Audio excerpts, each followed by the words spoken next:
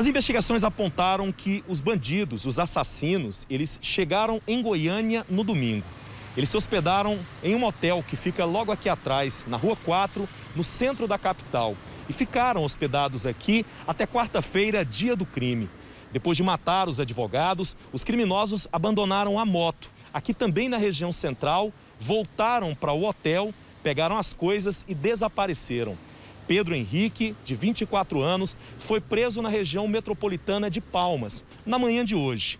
Segundo a polícia, ele é um dos homens que aparece nas imagens, em cima da moto. Moto essa que, segundo as investigações, teria sido utilizada para dar fuga aos bandidos.